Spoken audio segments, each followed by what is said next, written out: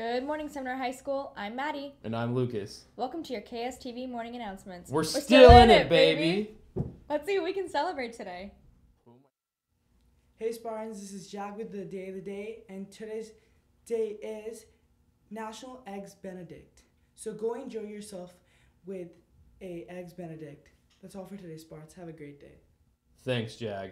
There is an FCA meeting tomorrow in Moog's classroom. That's 33B. There will be a guest speaker from Northwest University. Come check it out. Now for the word of the day. Good morning, Sparts. This is Nico with your word of the day, and today's word is Shanghai, meaning to put by trickery into an undesirable position. So, you need to know who to trust before you tell your secrets, or else you'll get shanghaied. Thanks, Nico. Now for the fact of the day. Hey everyone, it's Jack with the fact of the day. Did you know Iceland imports ice cubes? G. Wilkers. Have a great day. Thanks, Jack. Now for the sports.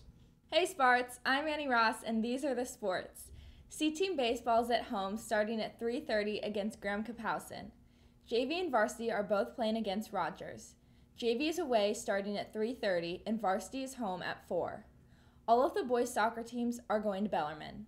C Team starts at 3.30, JV at 5.30, and Varsity at 7.30.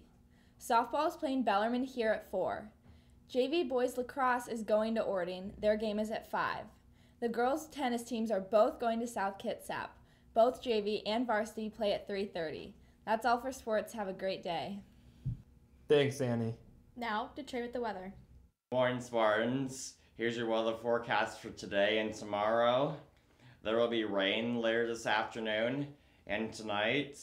It will be cloudy tomorrow and tomorrow night. Today's high will be 61 degrees. Tonight's low will be 48. Tomorrow's high will be 62. The low will be 50 degrees. That's the weather. Have a great day, Spartans. Thanks, Trey. That's all we have for you today. And if you miss any of our stories, check out SpartanNews.com anytime for these and other reports. Thanks for watching, and remember, and remember it's, it's a great day to be a Spartan.